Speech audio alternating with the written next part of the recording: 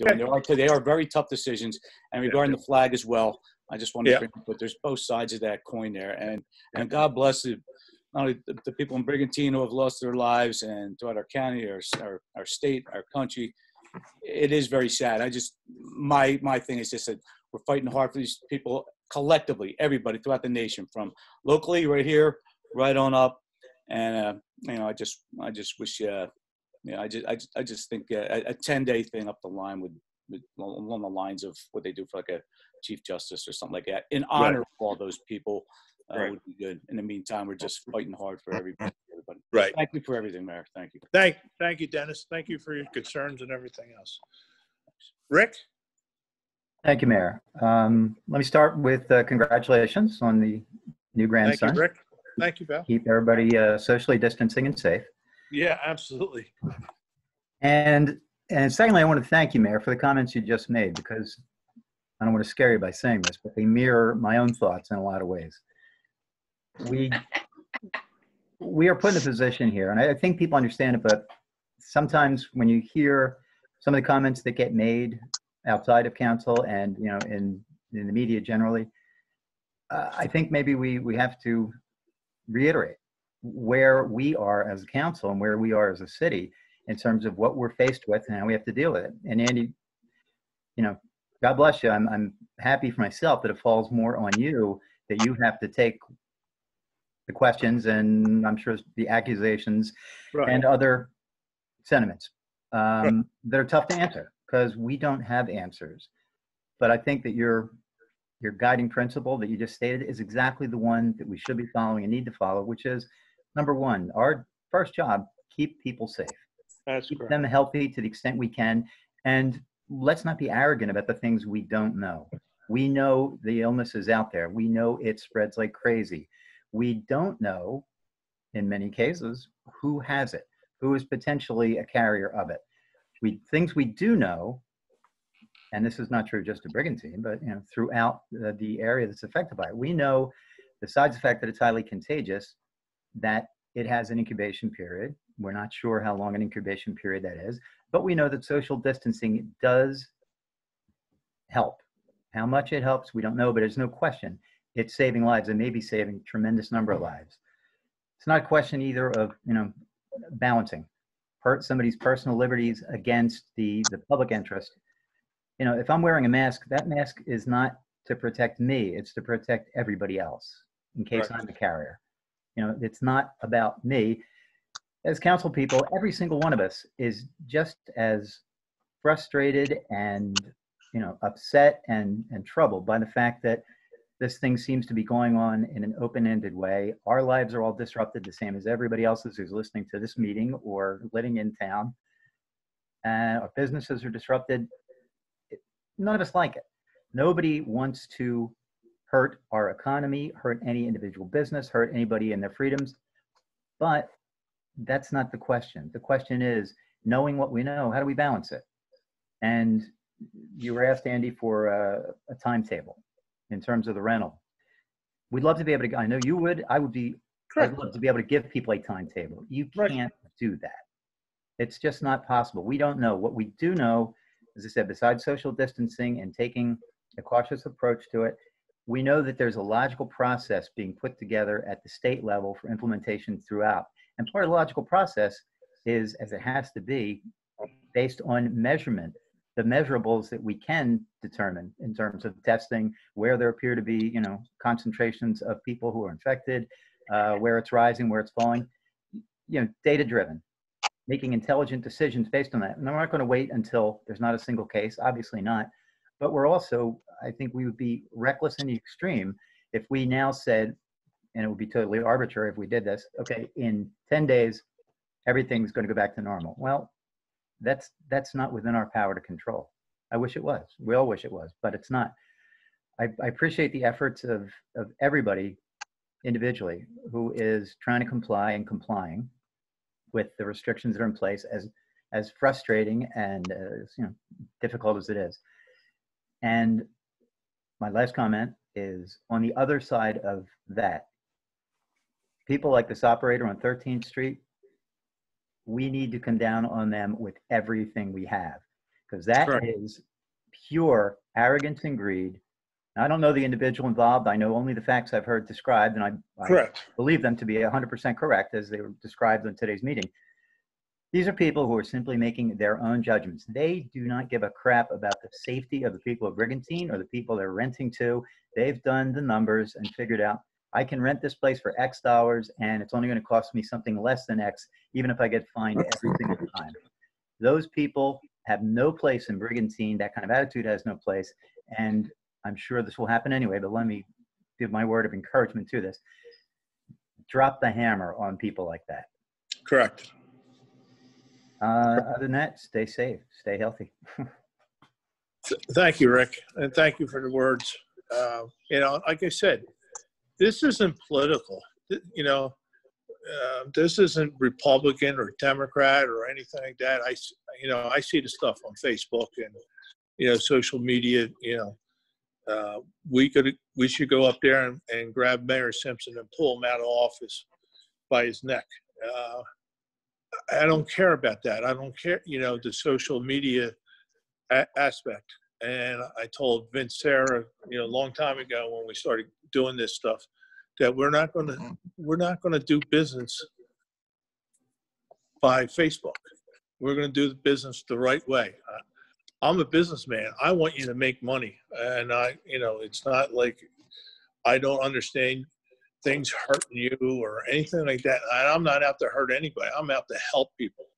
But I, sometimes you have to do stuff to help yourself, you know, to be alive in, in a, in a problem we have right now. So I just want everybody to be clear that, you know, not here to hurt anybody. We're not here to hurt Brigantine.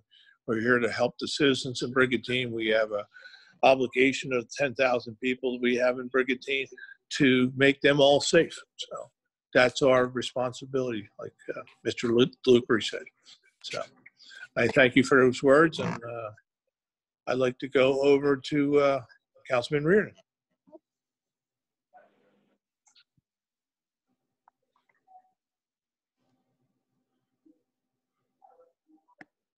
Okay, thank you, Mayor.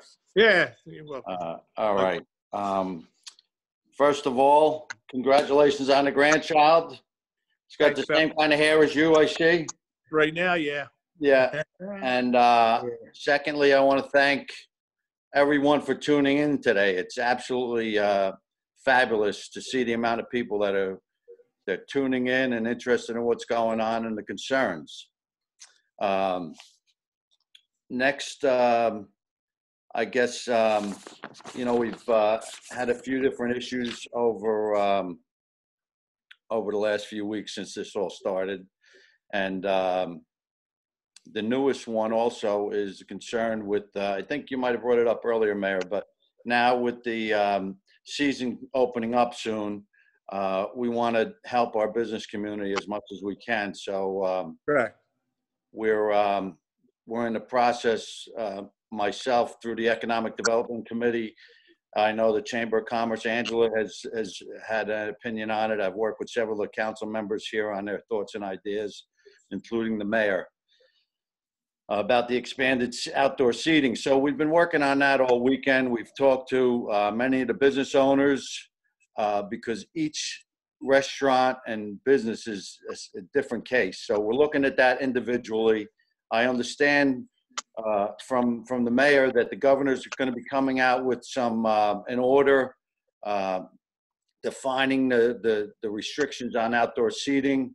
Uh, We've had concerns with the uh, serving alcohol outside, if we expand the seating outside. So there's a lot uh, going on there, and um, Mike, what I basically asked the governor's office to do is if we can give us the power, not the planning board or anything like that, give us the power to okay people on their, their uh, tables out into the parking area or so far six foot away from the sidewalk area.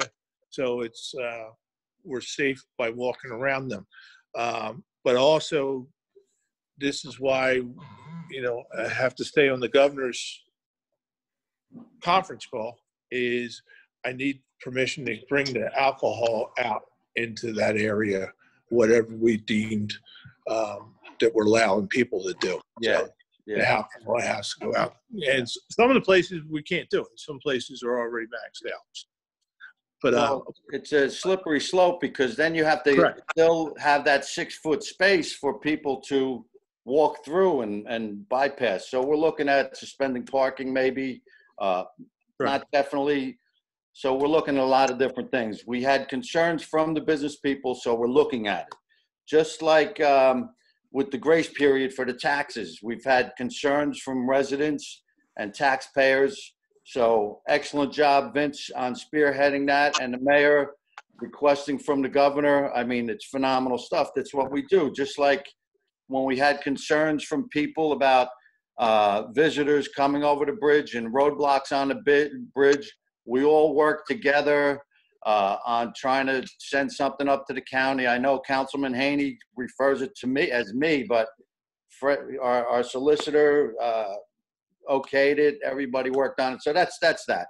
But um, Well, nothing happened at the county so though. anything, um, you know, we're always concerned about the health and safety of the seawall. And I got to tell you one more thing, Mayor, and everyone else here on the um, on the on the meeting, is that before the seawall and the bird tower and the Cove Beach were closed down, I know that I received many many calls from residents about people sitting down up on the seawall, gathering, getting together.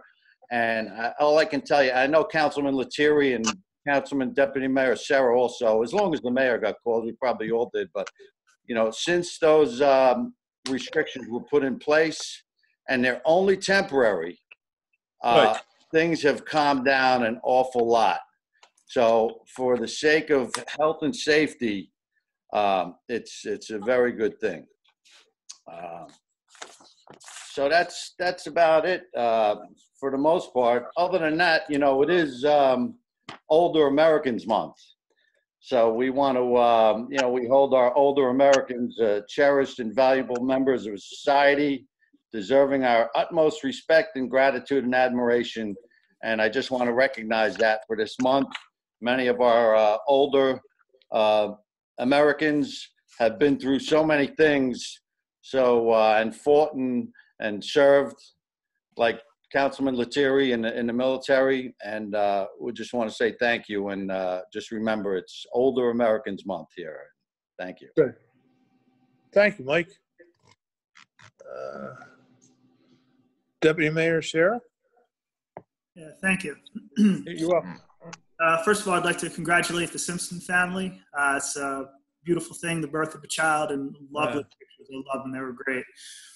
Um, also, too, uh, the mayor and I do talk a lot about, um, I guess, the messaging that goes on on social media and out with the city. And um, there's a lot of negative information and a lot of misinformation out there.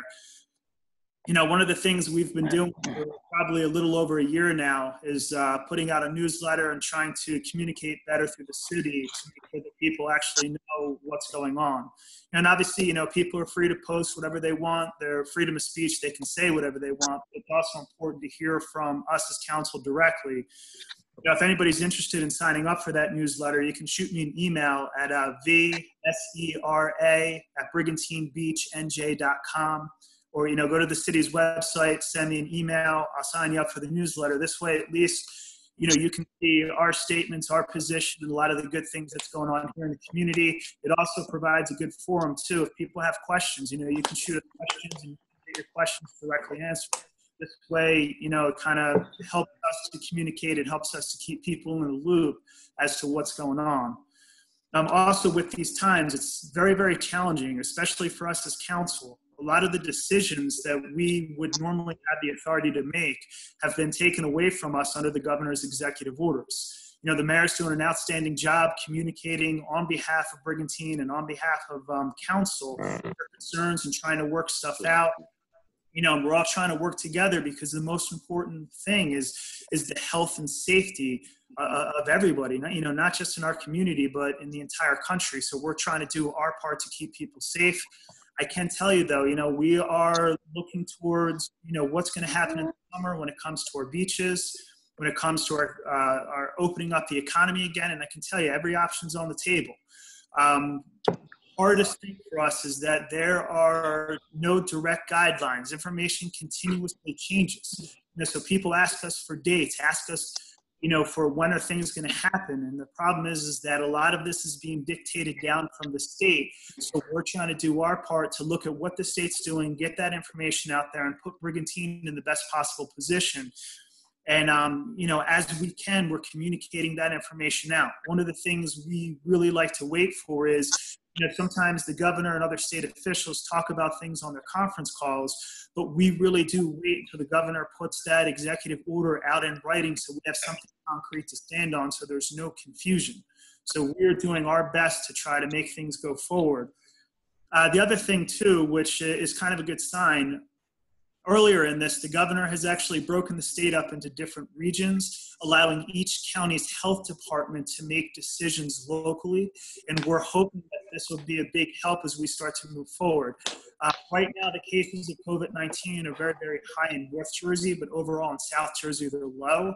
So if that trend continues, this could be a good sign for South Jersey and help us. One of the things that people are concerned about is when North Jersey has already saw their spike and their big swing, South Jersey is just starting to see its swing. So the governor is concerned that as we start to open things up, and this is all of the South Jersey communities, what impact does that have on the numbers in South Jersey?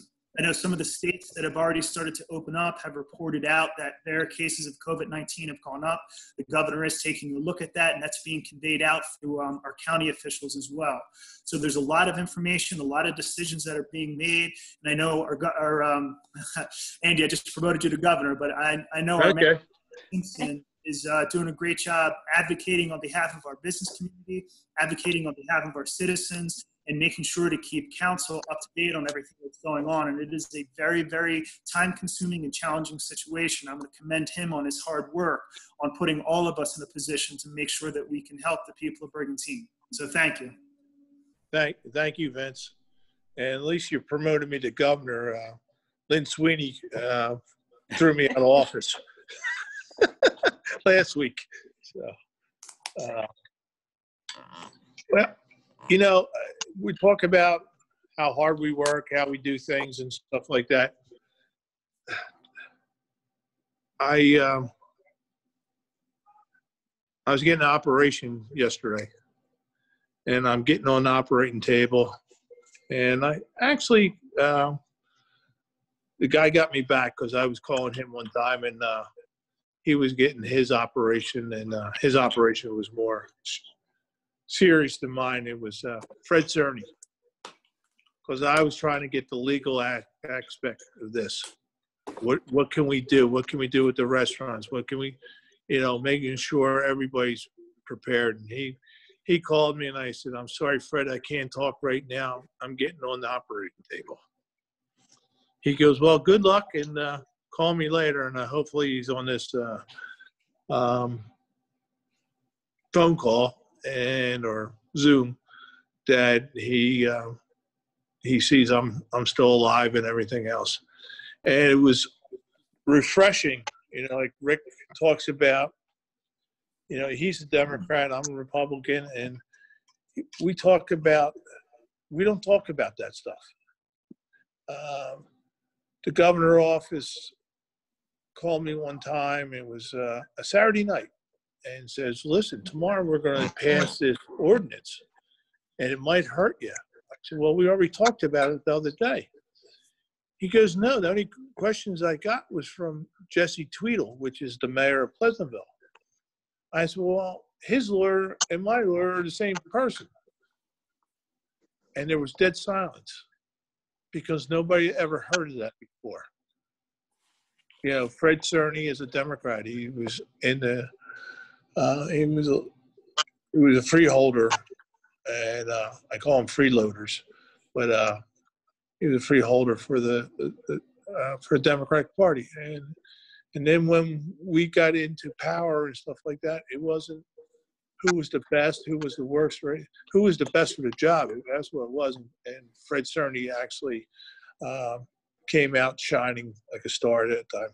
So under this what we're doing now, it's not Democrat or Republican. It's, you know, human beings. And, you know, we're doing the best to keep people alive, even even if they don't want to keep themselves alive, you know, by doing stupid stuff like uh, uh, worrying about having a dog park open right now. Go walk your dog around. The, you know, still can walk him in the street and, and collect his uh, his his mess and uh, and discard it into the local trash. So we're we're in good shape. We're, we have 16 cases.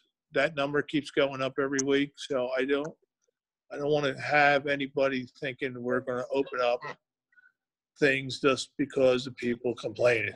We have to stay inside. We have to stay away from each other. We mm-hmm. have to, you know, basically. I don't. I don't see anybody. There's three people in my house, and they stay with me wherever we go. It's those three people go with me. Uh, like yesterday, they came with me and took me and dropped me off, and uh, went to a uh, a place that was quarantined, and uh, they came back and picked me up. So I certainly appreciate that, and I certainly appreciate every member on council, every member, uh, the Democrat, the Republican, or whatever, it doesn't matter. We're just doing the best we can do to keep our citizens alive right now, and um, I just want to make sure everybody's um, understands that. So, actually, the beaches, um, we're going to get notification from the governor. Hopefully, he allows us to do stuff. Uh, I talked to our city manager, and we're going to open up with four or five beaches on Memorial Day, maybe more now. We don't know yet. Uh, see what the beach requirements are from the state of New Jersey. Um, Karen, you never Yes. said anything about the golf course. I, I I forgot about that. Go ahead. I'm going to let you go there. Okay. The golf course is back open again as of last Saturday morning. As per the governor's very strict rules, um, tee times are made for only a twosome, not a foursome as in the past traditionally. Um, they are also spaced out at, uh, 16, 16 minutes, I believe 16 or 18 minutes apart. So it- it's, um, a, a lot of social distancing. The Right. only, the only way people are able to ride in a cart together are, is, is if they cohabitate. So if I wanted to go out and play with one of my friends, we'd have to take two carts. Um, things went very well. We had some members who volunteered the ranger last weekend to try to make, make sure everybody was uh, doing their social distancing and making sure that everybody who had gotten used to walking on the golf course and strolling around and riding bikes, walking their dogs, make sure they realize that it is now back to being a golf course. Uh, we had a lot of people out there just walking and playing, taking their kids out to play on the course, and now that is just restricted just to golfers. Also, the, the restroom facilities, according to the governor, are all closed. And uh, all public restrooms in the state, I believe, are closed. And they don't allow you to have a pencil and a scorecard. So if you want to go out and you make your tee time, make sure you bring a piece of paper and a pencil, your own pencil to keep your own score. But we are back up and running. And hopefully we can turn things around and soon go back to foursomes with eight minutes apart. But the course is in beautiful shape thanks to John Doring and all the groundskeepers, it is really, really looking good. Thank you. Okay, thank you, Karen. Okay, I'm gonna ask for a motion to adjourn. Andy, I think we need to do the, Oh, um, yeah, I'm sorry. I'm, wait a minute. Where's my, le- oh, there it is. Uh, I need to, I need to appoint two, uh, board members to the Board of Education. And Nancy Probone and Helen Kaufman. Uh, second? I think that's my, my, my appointment. Uh, I didn't know if we had to second it or vote on it. I, Okay. I don't know. I'm gonna ask Lynn. that's Andy's appointment as a type Okay. 1 school district. Don't we don't have to go through the motions or anything. Yeah, Nancy and Helen. I'll let the school know. Thank you. Thank you. Okay, any, any other comments? If not, I'm going to ask for a motion to adjourn. So moved. Second? Okay. All in favor? Aye. Aye. Well, I'm going to thank everybody that, who joined in to our May 6th uh, council meeting. And we'll probably have uh, a lot of information coming May 20th. Our next council meeting, it will be by Zoom. Uh, We'll be at 1 o'clock in the afternoon. And, uh, you know, there's going to be a lot of, uh, a lot of rules and regulations on that meeting with uh, Memorial Day coming up. I'm sure the governor will have it out at that particular time. So I would like to thank everybody who uh, joined us. I'd like to thank council. I'd like to thank uh, our, our city manager, Fred Cerny, and uh, also John Doring, our public works. You guys are great. Do a great job. Thank you, and I'll see you on the 20th. It's 1 o'clock in the afternoon. God bless you. God bless Brigantine. Okay, I'm not closing the meeting. Okay.